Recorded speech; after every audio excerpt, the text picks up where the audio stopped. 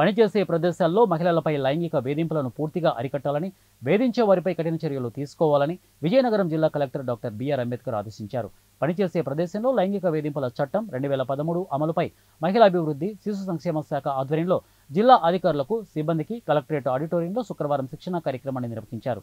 ఈ కార్యక్రమానికి ముఖ్య అతిథిగా హాజరైన కలెక్టర్ అంబేద్కర్ మాట్లాడుతూ జిల్లాలో ఎక్కడా మహిళలపై వేధింపులు జరగకుండా చర్యలు తీసుకోవాలని కోరారు. గ్రామ స్థాయిలో అవగాహన కల్పించినప్పుడే ఈ చట్టం పూర్తి స్థాయిలో అమలవుతుందని వారన్నారు. మహిళ గురైతే ఈ అవుతుంది. అన్న విషయాన్ని ముందు ఆ మహిళ తెలియాలి. నాకు ఈ రక్షణ ఉంది నా రక్షణ కోసం ఒక చట్టం ఉంది. ఈ చట్టం ద్వారా నేను రక్షించబడతాను అన్న విషయాన్ని ఆ మహిళ తెలిసే విధంగా మీ డిపార్ట్మెంట్ ద్వారా కానివ్వండి లేదా శాఖల సహాయం తీసుకుని ఎన్జిఓ సహకారం తీసుకుని గ్రామ స్థాయిలో కూడా ముందు మహిళలకు ఇది ఒక అవగాహన కలగాలనేది మొదటి అభిప్రాయం. అది అయిన తర్వాత దాని ఇంప్లిమెంటేషన్ ఎలా జరుగుతుందో మనం మిషనరీ పరీక్షిస్తాం అన్ని కార్యాలయాల్లో కూడా ఒక అధికారిని పెట్టండి దీనికోసం అని చెప్పి అన్నాం.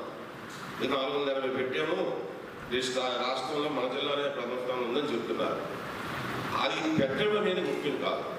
అది ఎంత యాక్టివ్ ఉందనేది ముఖ్యం.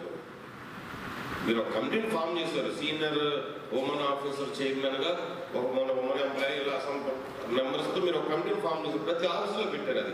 జిల్లా స్థాయి నుండి గ్రామ